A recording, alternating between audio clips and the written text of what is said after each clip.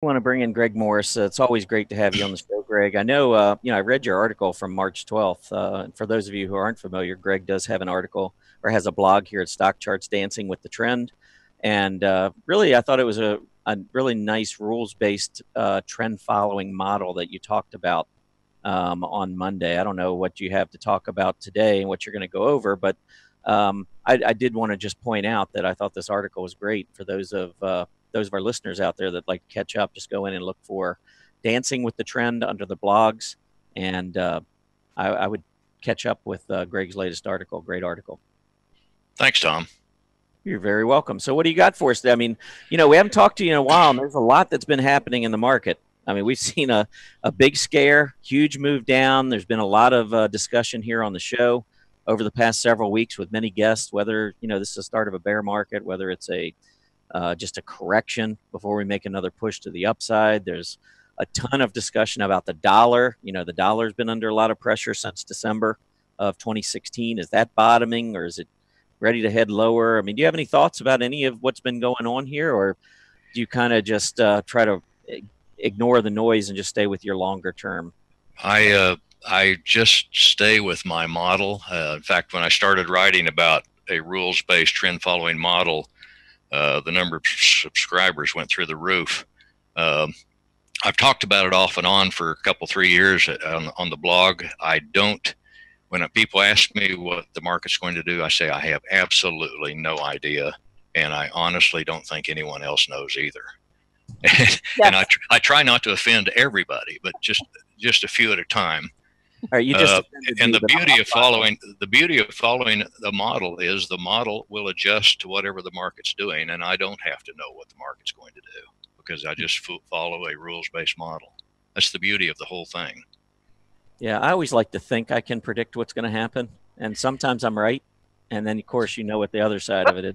oh yeah, yeah. I used to uh, like on the cartoon net. I'm sorry, CNBC. I used to uh, see all the talking heads come on there and make their predictions. And I thought there's no consequence for them to make a bad prediction because uh, they still get invited back on. And uh, there's one guy that's just on. He's I don't think he's ever right. He's just on the wrong side of the market every time, but he's still being invited back. He must be a good advertiser. Yeah, I always wonder about that. I know back in, and I hate bringing up names because these are probably great people and all, but sure. I know back in 2006, 2007, right before the financial crisis, and of course, you know, it's hard to predict that kind of a move to the downside. But I remember Dick Bove coming on to CNBC and talking about financial stocks just day in and day out and how they kept getting cheaper and cheaper and how they were a great buy.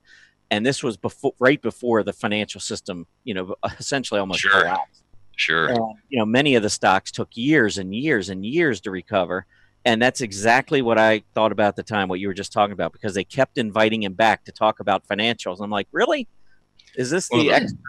Yeah, the poor, the poor souls that follow fundamental analysis, you know, when prices go down, they can go down daily, but the earnings are only reported quarterly. So the fundamentals get really good as the prices go down because they're all related to price in the numerator. Exactly. Um, and it just uh, bear markets just destroy that. So, but today I, I kind of want to talk about a couple of philosophical things that I I I've been working on some blog articles, and I'm I'm trying to include these in one of them in the future. But uh, one of them is I call knowledge versus wisdom, and then I try to tie that to technical analysis. Uh, you know, stock charts is kind of like Microsoft Excel. It's just got an abundance of tools and indicators and capabilities and people, I don't, I use maybe 10% of Microsoft Excel. And I hmm. probably use 10% of stock charts. I don't use all the tools that are on stock charts. Uh, it takes a lot of knowledge to understand technical indicators. And uh, people should understand what's behind, for instance, stochastics. If someone is using stochastics and they can't explain what it is and why they're using it, that's that's kind of dangerous. Yeah. Um, so I, I, I, think that knowledge, uh, as far as technical analysis goes, is is how to use indicators effectively. And you follow all the blog authors on stock charts, world renowned technical analysts. They don't use all the indicators. Most of them use the same thing over and over again because they've found the indicator that works best for them or indicators that works best for them. So so the knowledge part is is which indicators to use effectively. The wisdom comes in is is uh, which of those indicators to use in your analysis, uh, especially if you're trying to make money doing it. Uh, I'm on record as saying uh, the indicators that require extreme subjectivity, um, I avoid them. Mm-hmm. Uh, I see some people that can use them, and they seem to use them very well. But uh, Fibonacci, Gann, Elliott wave, uh, and and just for Aaron, I'll say angled trend lines. um, I, I, have never been able to use those effectively, and so the knowledge part is is that I don't use them. I have the knowledge not to use them. Mm-hmm. So that, it kind of reminds me of something my my friend John Ellers told me a long time ago. He said, "Knowledge is knowing the tomato is a fruit. Wisdom is not putting one in a fruit salad." Isn't that great? Yeah. I like that one. I'm going to borrow it. Yeah, steal it. I did. and then, then the other thing is, is I've heard people say technical analysis is science. My God, whoever says that doesn't know what science is. It's an art. Uh, real quick, I'll explain what science is. Science is something that you can do repetitively and reach the same conclusions. For example, I know that at sea level, on a standard day, uh, 59 degrees Fahrenheit, 15 degrees centigrade, pure H2O water will boil at 100 degrees centigrade and 212 degrees Fahrenheit. That's science because every time you do that, it will boil at that temperature. And of course, as you raise go up in altitude and there's less pressure and uh, the electrons don't escape as much, it'll boil at a lower temperature. That's science technical analysis is not science. If science would mean that if stochastics got to 98.6 and then tick down, it means the market's going to go down. We know that doesn't work that way. So is it is it science, Greg? If my uh, if one of my trades is down 10%, my blood starts to boil? That that's that's called bad science.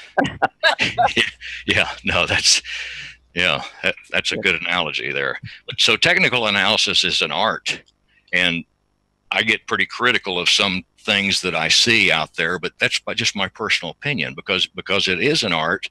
Everybody finds their own tools and their own techniques, and whether they're just educators or they're practitioners, it doesn't matter. Everybody gravitates to what works for them. Uh, you guys do a great job with what you do. Well, thank you. So, Thanks. I wanted to talk a little bit about breadth. Um, about 15 years ago, I wrote a book called the Complete Guide to Market Breadth Indicators, an entire book on the subject. And the reason I did was twofold. One is I've been using breadth for many, many decades. Uh, and all the big technical analysis book authors, uh, Kirkpatrick, Pring, Murphy, they only treated breadth in maybe a chapter. Uh, and I thought it was worthy of an entire book. So I, I did that. And then a couple years ago, we put the entire book on Amazon this sounds like a sales pitch. And uh, we chip through uh, the programmers there at Stock Charts. We put all of the breadth indicators on stock charts. And so they're all there now, and they all begin with an exclamation point BI.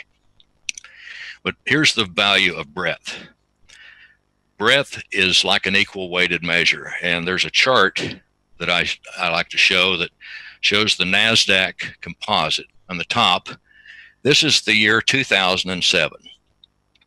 Now, most people, when they're talking about the market, certainly the talking heads will use price capitalization weighted indices. The Nasdaq is one, the S&P is one, uh, the Dow is a price weighted, but it works the same way, which means that the largest stocks in that index carry most of the weight. They cause the index to move.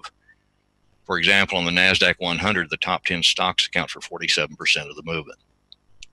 Breadth, on the other hand, treats every stock equally. ExxonMobil could be up $10 one day, and Bubba's Pizza, the smallest capitalized stock on the NASDAQ, could be down a penny, and they just canceled each other out. One was an advance and one was a decline what happens is as the markets start rolling over in these periods of distribution like market tops you don't really know it at first but when the market has stopped going up and it starts going sideways, you know, like we're seeing now, and I'm, I'm not making a prediction, but the market hasn't gone done much this year, especially following 2017. People will tend to loosen up on their what we consider their riskier holdings, which are generally small caps, micro caps, and maybe some mid caps. And they will go into what they perceive to be safer stocks, feeling that the blue chips, the large caps are safer. Uh, that's a very common trait, certainly in institutional invest- investors, uh, and because they'll like to talk about it. Well, what happens when they do that? That causes these capitalization weighted indices to continue up moves. When in fact, breadth, as you can see there in 2007, that's the NASDAQ advanced decline line, is in a big decline early in 2007, long before the top in the market. You can see that signature almost every time we have a market top. Breadth will deteriorate much quicker and much earlier than price and cap weighted indices will. That's the beauty of market breadth, uh, is that early warning indication. And I, I, 98 and 99 was a perfect example. Breath, uh, Russell 2000, which is another kind of a proxy for breath if you don't have breath data, uh, deteriorated for two years before the Dow and the S&P followed suit starting in the beginning of 2000. And you can back, go back over history and you can see this breadth signature at almost every top. The bad news is it's kind of like some economic indicators that call 20 out of the last 12 recessions. In other words, it will happen and it doesn't mean it's a top you'll see breadth deteriorate. It's, it's for other reasons, but it almost always does it at the actual tops. So that that's that's kind of what I, I wanted to point out that breadth is a very important tool to keep in your toolbox for a technical analyst. Um, Quick question for you. Sure. Uh, somebody asked, uh, you know, why is the advanced decline line equal to such an enormous number like 30,000? Because uh, it's okay it's it's cumulative you take every day you take the advances minus the declines and then you add that as you go along the number that makes up the advanced decline line is meaningless absolutely totally meaningless because it all depends on where you started the calculation mm-hmm.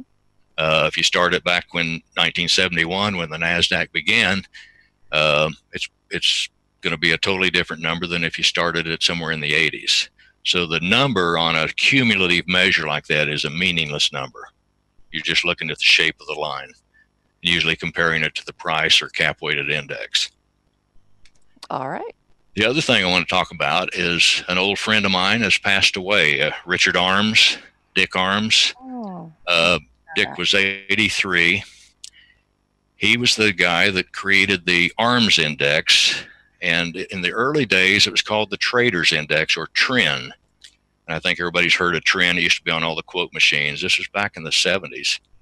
TRIN and uh, Dick, would, I'd have Dick in Dallas all the time to uh, do seminars with me. Great guy. Uh, his first wife uh, required a lot of care there in the early 2000s. He's, he's kind of off the radar for a while, but apparently uh, he was having some heart issues and he was 83 he just he lived in albuquerque. A great guy. He's also the one that created I, I, don't think he created it but he he wrote books on equivolume where the width of the bar is representative of the volume for the day. So you could see it all in one chart. Stock charts has all of those on there very recently he did a an expose that's published on stock charts i think on not not just candle volume, but uh, uh, candlestick volume, where he shows the width of the candle is also the volume. He used to tell me that he, he was wrapped up in volume, and this is back when volume was very meaningful because there weren't dark pools and all these other strange places to make trades. He used to tell me when he'd go to lunch, he'd tell his secretary he'd be back in 200,000 trades. Instead of using time, he used volume. Mm-hmm. Great, great guy. Uh, technical analysis lost a good one there. So yes. we actually do have the TRIN uh, on stock charts in our sure. point uh, market indicator chart back. So Yeah, yeah, and it's a it's kind of Dick said he if he was doing it all over again, he would have inverted it because it's kind of an inverse indicator. When it's up, it's it's bad. When it's down, it's good. I I, I think it's advances divided by declining volume in the numerator, and then declines divided by up volume in the denominator. That's the formula for it. And um, he did a version called Open Arms, which I think is kind of uh, encompassing and grabbing. That was supposed to be funny, uh, where he smoothed the components before he did the calculation. But they're all they're very interesting uh, measures, and like I said, they're all on stock charts, every one of them. yeah, I along- just happened to pull one up for everybody. Okay. So, uh, you can see that, and it, it is a pretty handy one. I know uh, we do invert it that scale. Yes, there you go. I think Carl uh, said that it's the trick is if it goes over two. The next day, I guess, is supposed to be an up day, something to that effect. Of course, Yeah. is perfect, but Yeah, it's a it, it's it's one of those measures that you look at the it, when it's at, extremes usually. mhm, So go. uh, the other thing, and this is nothing to technical, today is Pi Day, so I guess it's a time to be irrational. Oh, there you go. Three fourteen. Oh, Ah, that's so bad. I should have known that as a math major. I should have. Yeah, that Pi. I tell people my my pin that I use on the websites are the last four digits of pi. Pi, pi is a, pi is one of those numbers that doesn't end. Exactly. So, that's so bad. Math. Uh, goes down. What are you going to do? Let's see. I, I see. I've got a few more minutes. There's just a couple other little things I see. Uh, I'm very critical of, of modern finance and especially the financial media.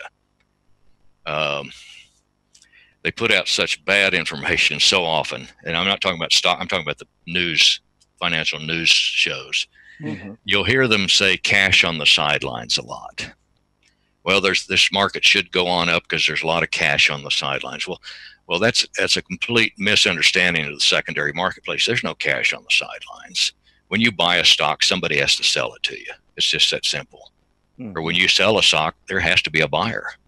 You can't go buy stock off a shelf somewhere. That's the primary marketplace during IPOs, et cetera. So there's no such thing as cash on the sidelines. Uh, you know, a, a company or a huge investor may have cash on the sidelines, and, and if they said it that way, that might be meaningful. But to just say it generically, uh, there's no such thing. The other thing, uh, and I think everybody's heard them say that it's a it's a big down day today because there's more sellers than buyers. Yeah. Well, that goes along with the same thing I was just saying. There's the same number of sellers and buyers because you can't sell something unless somebody buys it from you. Uh, what they probably should say, there's more selling enthusiasm than buying enthusiasm, Mhm. uh, and that that would be that would be more meaningful.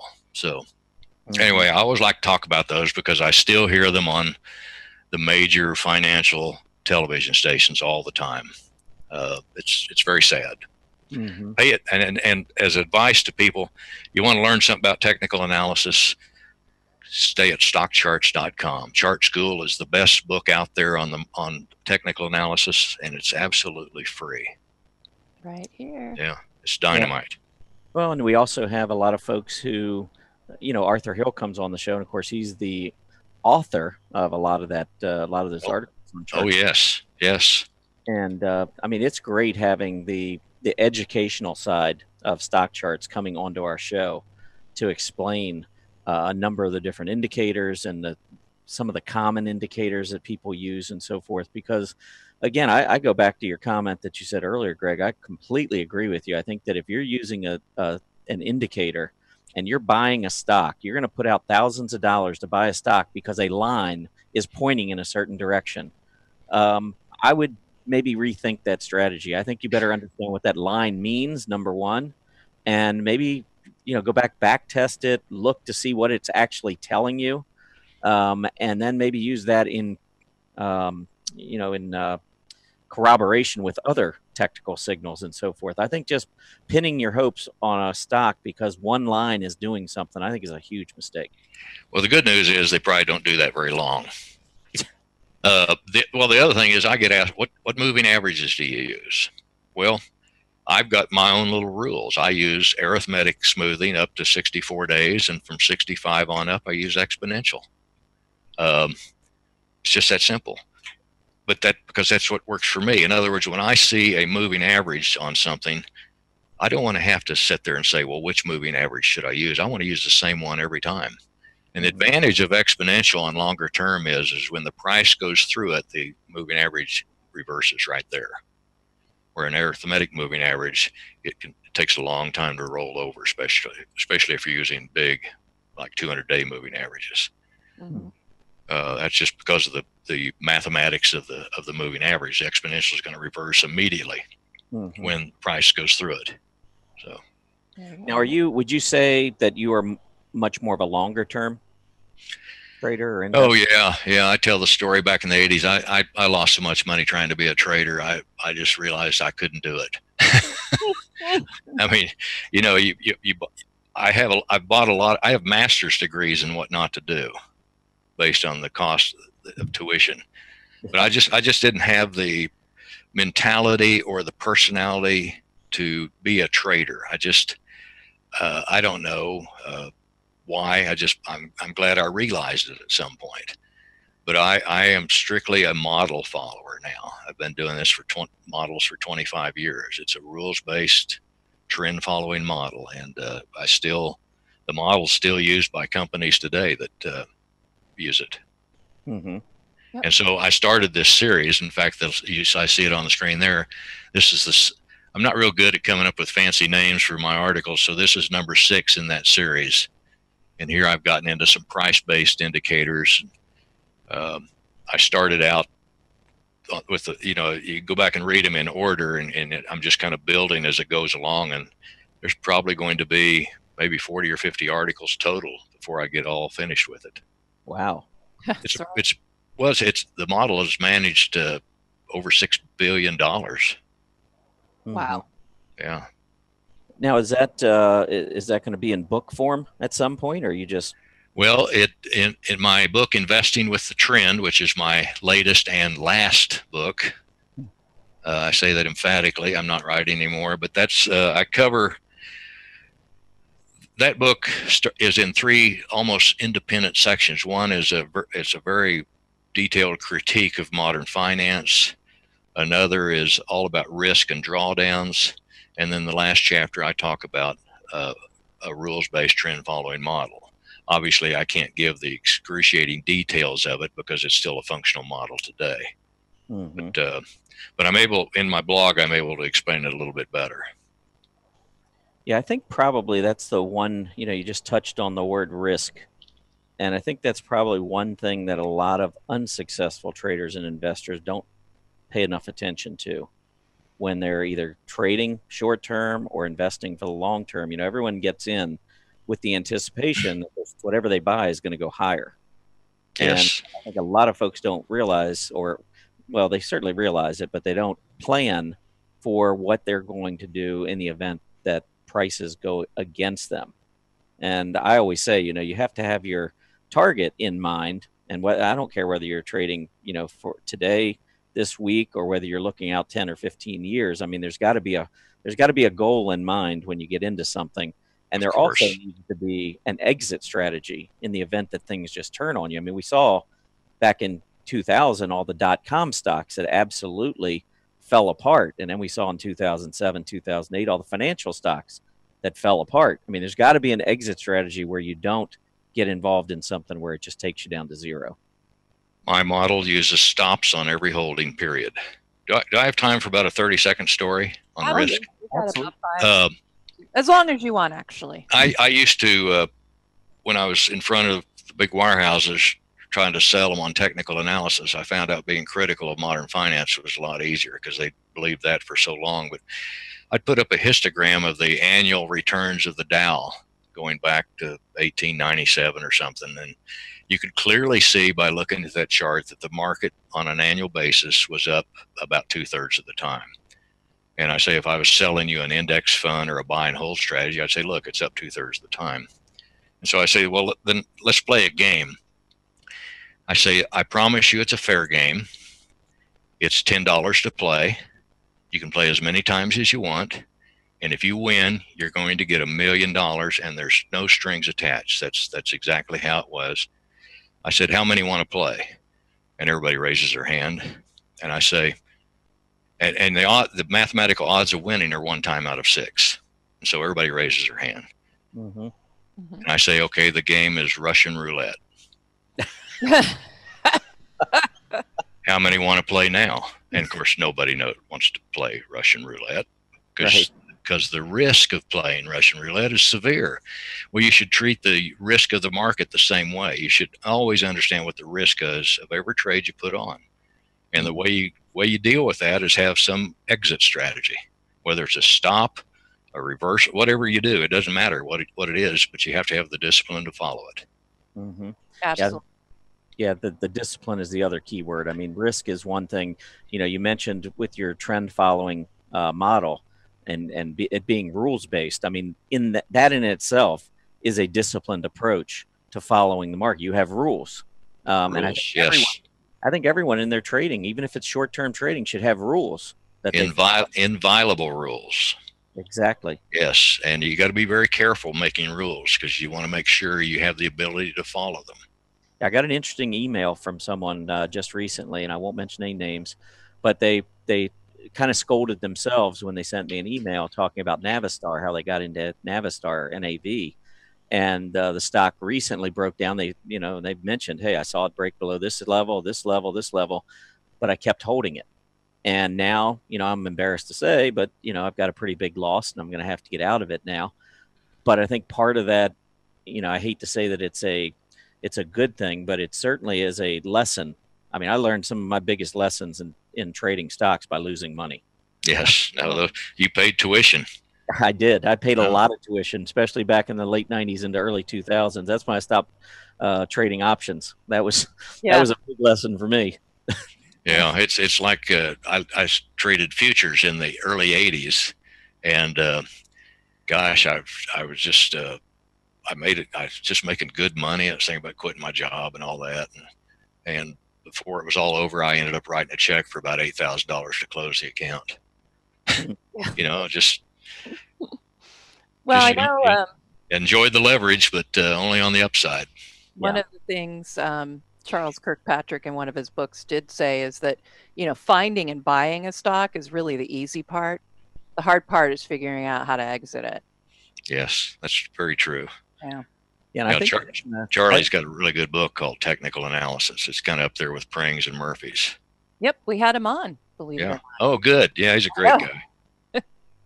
yeah, that was a very interesting uh, uh, session of Market Watchers Live having uh, Charlie on the show. That was really uh, eye opening for sure. And well, thanks again for uh, joining us, Greg. It's always a pleasure to have you on here, my friend. And we're going to play golf soon. Okay, I look forward to it. You guys do a great job. Keep up the good work, and thanks. Oh, you're so nice. All right. Signing off.